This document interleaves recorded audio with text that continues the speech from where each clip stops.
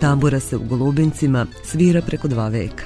Prvi tragovi o tamburaškom orkestru nalazi se u zapisima pred kraj 19. veka a 2014. godina kada je osnovan Omladinski tamburaški orkestar Hrvatskog kulturno-prosvetnog društva Tomislav sigurno će ostati upisana u istoriji društva. Ubrzo nakon osnivanja na Republičkom festivalu tamburaške muzike u Zemunu osvaja prvo mesto i plasira se na prestižni festival u Moskvi, na koji, nažalost, ne odlazi zbog nedostatka financija.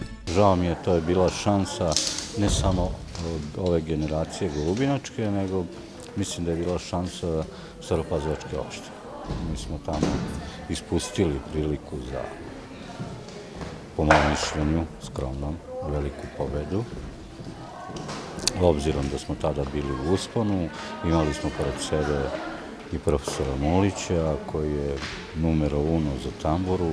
Orkestar je trenutno okosnica društva Tomislav. Mnogi su i opanak zamenili tamburom. Folklorni ansambl više ih i nema. Evo sad sam samo jedan par uspeo da uh, odradim sa njima Svatovac, svadbeni igra Svatovac.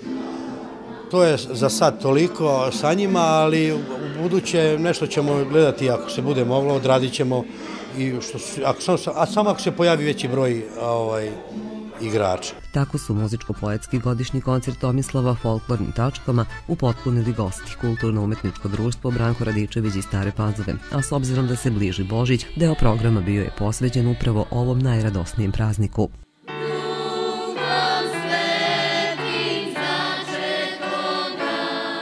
Veterani su izveli prikaz mačkara po kojima su golubinci upisani na kulturnoj mapi Srbije na putu ka pozicioniranju na mapi evropskih karnevalskih gradova. Svima ostale u sećanju naše mačkare kontaktirali smo sa Federacijom Evropskih karnevalskih gradova i oni su nam rekli da mi sve uslove već imamo da budemo karnevalski grad, ali za to nam treba podrška e, šire šire struktura, lokalne samouprave i svih ostali kako bi mogli primiti toliki broj gostiju kada nam oni dođu.